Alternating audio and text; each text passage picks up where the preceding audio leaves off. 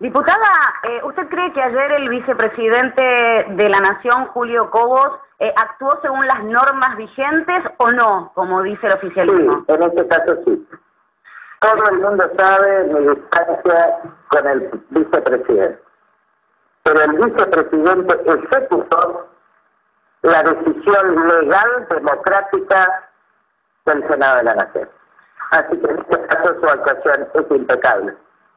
Elisa Carrillo le mandamos un saludo. Muchísimas gracias. ¿eh? Salud. Que te vaya muy bien.